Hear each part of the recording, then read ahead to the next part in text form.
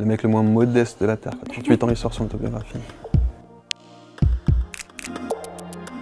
J'étais un lecteur curieux. Je me rappelle de plein de choses, du petit Nicolas, des J'aime lire, des... Mais mon premier roman, je crois que c'est un roman de Daniel Pénac qui s'appelle Au bonheur des œuvres. C'est le premier roman que je lis, euh, je sais pas, j'ai 7 ans.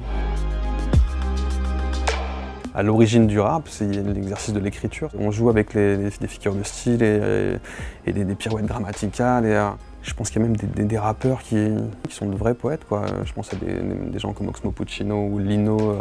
Il y a un pont évident. Nous, sommes de modestes écrivains, je pense, chacun à nos, niveaux.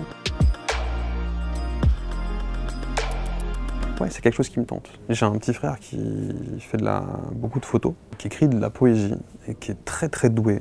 Il écrit vraiment, vraiment divinement bien et j'aimerais bien faire un truc avec lui. Euh, voilà. C'est marrant, ça m'évoque tout de suite un, premier titre que j'ai balayé pour l'album, mais ce serait Monstre Sacré. Je suis tellement attaché à mes, vieux fantômes, mes démons, je les ai tant chéris que Monstre Sacré, je, pense que je l'appellerai comme ça, si je vais la sortir. Biographie à 38 ans, terrible. C'est toujours le même bouquin et c'est celui que j'offre beaucoup aux gens que j'aime ou que j'apprécie. C'est un recueil de poèmes de Bukowski qui s'appelle euh, Les jours s'en vont comme des chevaux euh, sauvages sur les collines. C'est des petits poèmes, des, instantanés.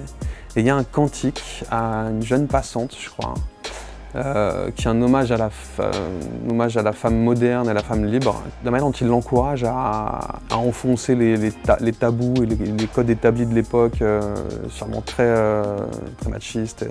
C'est brillant Bukowski. Pour moi, c'est du rap de, de très haute volée. Quoi.